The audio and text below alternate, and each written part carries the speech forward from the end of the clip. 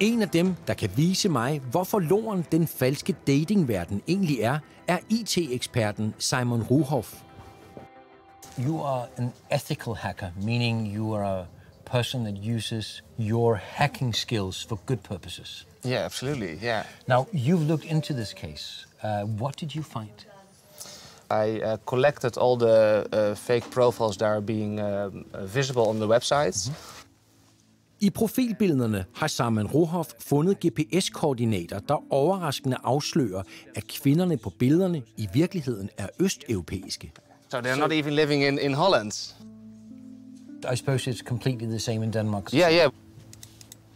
Det danske internetmedie Zetland har også vist, at profilbillederne kan være taget fra tilfældige Facebook-profiler. Det oplevede denne gifte kvinde, der ikke anede, at hendes billede blev brugt på en falsk datingside. Og bagmændene tjener ikke blot penge på de falske datingsider, de selv har oprettet. De sælger også det tekniske setup til hjemmesiderne, så alle kan starte deres egen falske datingside.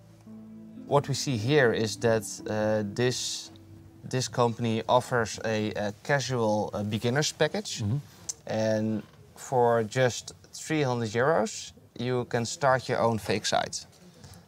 That's very cheap.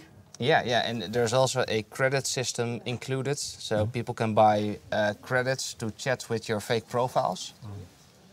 There is a, a moderator system, hand out answering messages to others. And they have a large database at their disposal with 24 million profiles worldwide in all types of niches, ages, skin color, origin and dimensions. For every niche we have, we have profiles. Um, so this, in a sense, is, is almost like a criminal master plan. You're buying everything. You're buying the profiles, the way to do it. And yeah. yeah, yeah, absolutely. The whole system is there for you to start this evening if you want. Okay for just a couple of hundreds of euros, then uh, then you're in in this criminal organization. Crazy. It is. It's crazy. Yeah.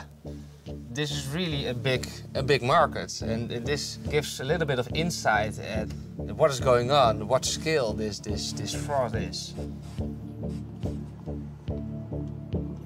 Når vi researcher på, hvem der egentlig ejer de dansksprogede falske datingsider, ser det ud til at fortabe sig